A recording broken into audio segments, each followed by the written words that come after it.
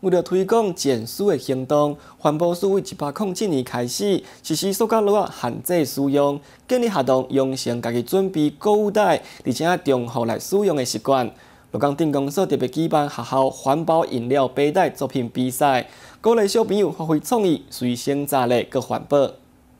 评审是真详细来评比即个比赛作品，即届的作品总共有四十二件，经过各学校先筛选后再来评比。作品是非常的多，嘛非常的精彩，和评审老师嘛非常的肯定。鹿港镇公所配合我们的环保署吼，那个减塑啊的活动。那这回咱特别邀请咱鹿港镇啊，拢从七间的这个小学吼啊来做这个啊，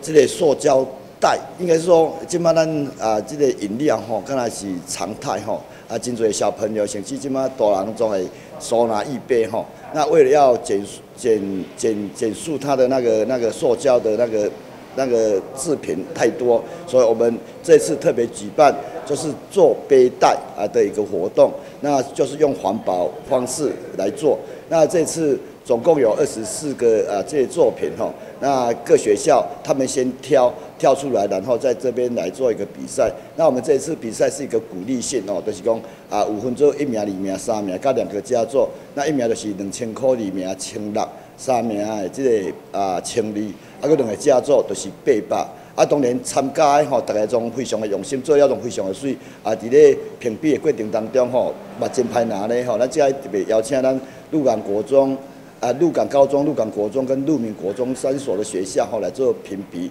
啊评比出来即个作品，咱的哦，啊伫咱即个东游记来颁发啊，即个奖励啊，甲即个奖金。啊，其他的遮啊，虽然做了真水吼，但是因为名额都是有限吼，所以咱伫啊即个。办完即个即即个活动了后吼，咱嘛上一个奖状跟一个纪念品给所有参赛的者哦，所有参赛者，我感觉好，这是一种鼓励性。啊，嘛要家小朋友从小开始啊，对这个环保吼要有那个概念吼，所以我感觉办这个活动是非常好，啊，嘛当配合咱啊环保署啊来推广这个活动。店长表示，即个得奖的作品将会颁发奖金甲奖状作为表扬，嘛希望最后比赛。学生自细汉培养环保的概念。新中华新闻蔡中清罗岗采访报道。